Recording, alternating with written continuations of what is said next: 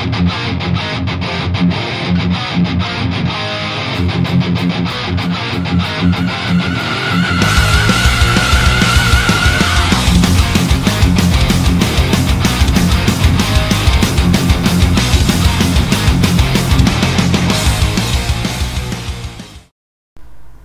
guys, Ben here. Um, um just a quick uh, update video. Um, it's been a week or so. These are just sort of um, spontaneous pickups I've picked up in the last couple of weeks. You know, uh, very off the hook. You know, stuff I've just seen and gone, "Oh, I fancy that. I'll pick it up." Um, one record and a couple of sort of reissues that I sort of spontaneously found and decided, "Fuck it, I've got to order them." So yeah, um, I'll start with the vinyl. Um, Twin Peaks, a new series, uh, was issued for Record Store Day. Oh, sorry, as you can see, Record Store Day uh, this year. Unfortunately, on Record Store Day, my record store ran out pretty quick on these, and I didn't turn up till quite late. So yeah, very surprised to see this. Um, you know, a big fan of the music anyway, a big Twin Peaks fan. I sort of bought it more as a collector's item really because you know it's just a stunning, stunning picture disc. Yeah, it's basically the Twin Peaks theme, and yeah, the songs that they played in the end of each episode in the in the Bang Bar thing, in the Bang Bang Bar. Um, so yeah, it's got the chromatic shadow.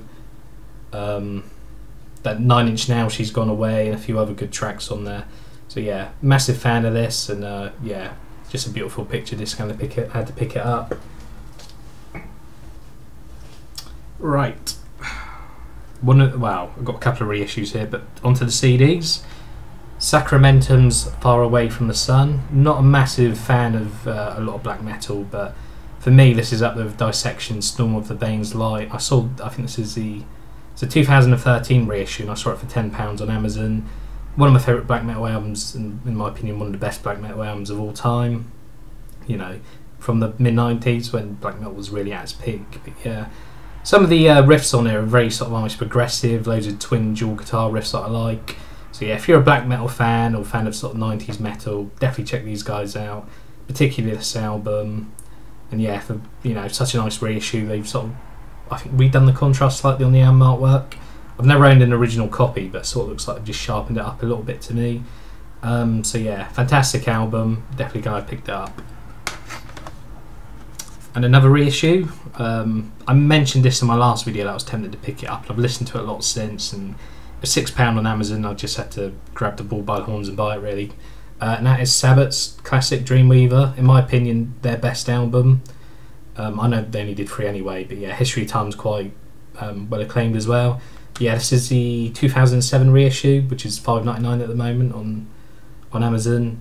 But yeah, fantastic concept album, fucking tight as hell playing on it. You know, Andy Sneap's guitar playing's fantastic. Uh, for six pound, you can't really go wrong. You know, if you're a big fan of classic uh, British thrash metal, definitely check these guys out. Uh, particularly the song "The Clerical Conspiracy," which is one of my personal favourite tracks off here. But yeah, uh, great twin guitar playing, you know, riffs. Uh, underrated classic, really. So yeah, definitely have to pick that up. And something a little bit different, just because you can't listen to metal all the time. Uh, I saw Andy, I think, post this in the video, and I've listened to it a couple of times as well. And I thought, fuck it, I've got to get that album as well. Uh, it's one of my favourites this year, you know, in terms of non-metal releases, and that's Turnstile's Space and Time.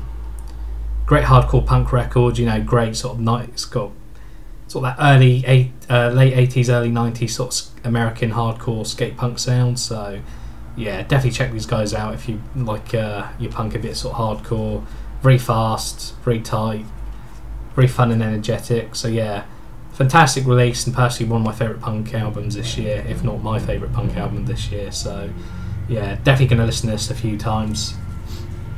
So that's uh, the pickups the last couple of weeks. Um, not really much coming out at the moment. It's been a bit slow on new releases. So I think for my next video I might do uh, sort of my favourite summer sort of albums, uh, summer playlist because there's loads of shoegazy metal albums that have a bit of a summery sound to them. So yeah, let me go know what you guys have been listening to, uh, like and subscribe, and uh, I'll catch you soon.